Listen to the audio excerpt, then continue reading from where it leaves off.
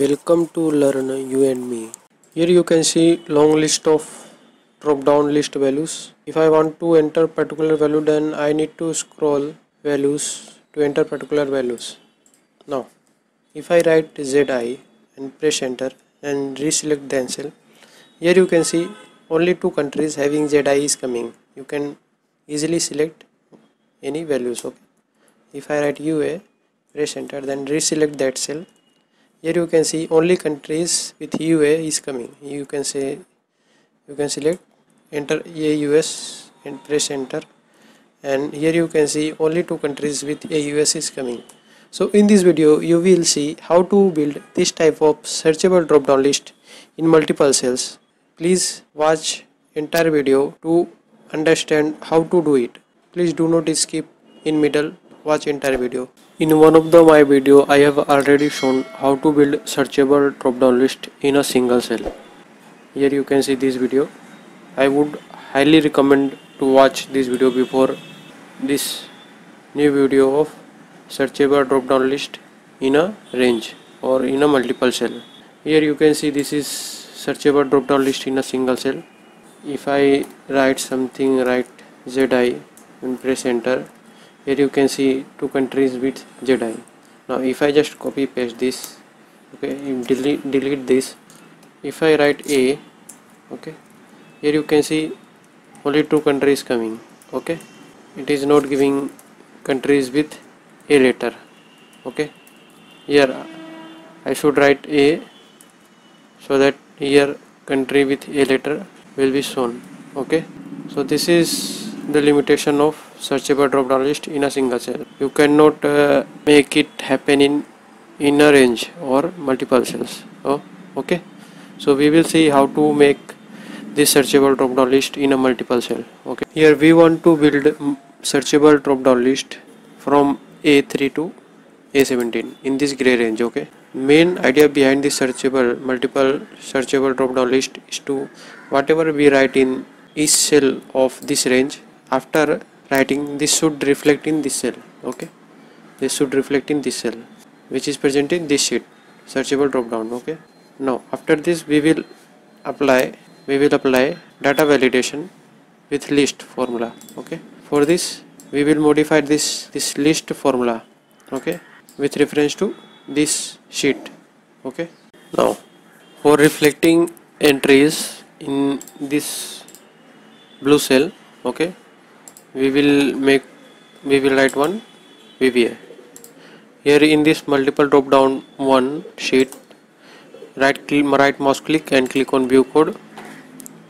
Here from this drop down select worksheet. Here from right drop down select change. Okay. Here we do not want this so deleting it.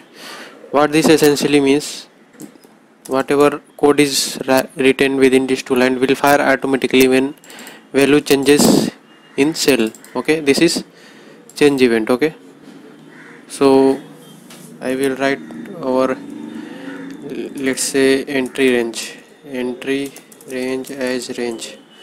Set entry range is equal to range.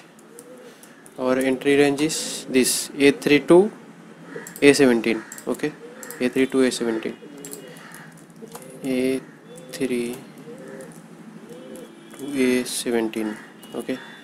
Here I am writing this VBA in multiple drop down 1 okay sheet 2 so no need to refer sheet 2 dot range okay. Now I will write if if application dot intersect target and entry range is nothing. Nothing. Then end if. Now here we want if target means whatever the cell is cell value is change target is target represent range. Whose cell value is change and entry range is this. If this if our target range is present in entry range okay? Intersect means this target is subset of this entry range okay? Now instead of nothing we want it if it is present in entry range okay? So we will apply if not okay? What this essentially means if change cell is present in entry range then then uh, execute this code okay? Whatever the, the code written execute this code okay? Okay? So we will write one code. Now when we change value cell value within this range then it should reflect in this cell okay? Searchable drop down list k3 cell okay. so we should write like this. So here you can see sheet 1 is searchable drop down okay this is code name sheet 1 dot range k3 here you can see k3 k3 dot value is equal to target target dot value which means cell whose value got changed and make sure event is enabled for this. To enable event just in immediate window run application dot enable events is equal to true. Okay? You have to do only once and press enter. After cursor press enter. Okay? Now if I write something like a b here you can see AB is written. Okay? Now let's here give some cell reference to this K3 okay? Now we will see it in real time. Now let's ZI here you can see it got changed to ZI here you can also see ZI or make it UA okay? So this is how we are reflecting what uh, change in cell value to this cell okay now in second step we will build dynamic list. For this here I will copy this okay and paste here. Now this formula will refer this sheet current sheet. I want to make this formula to refer this sheet okay searchable drop down okay. To make this just I have to put reference of this sheet okay? Here you can see. So I will just copy this searchable drop down list and paste before reference. Okay here then here. Yes then here. Okay. Then I will make this C3 absolute okay? Put dollar before this and this okay all thing will remain same but we have to just give this sheet reference okay?